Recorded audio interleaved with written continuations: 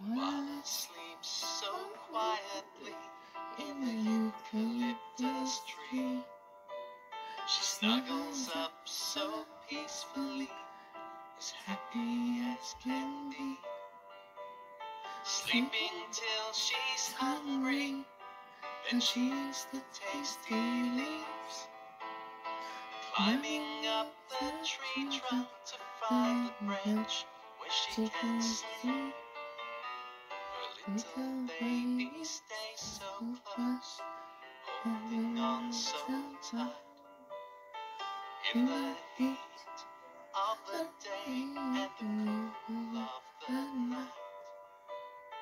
Whether sitting in a tree or scurrying down a track, you'll always see the koala baby clinging to his mother's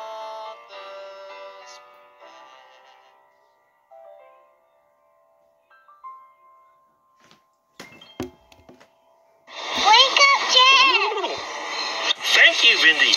Thank you, everyone. And thank you, Koala.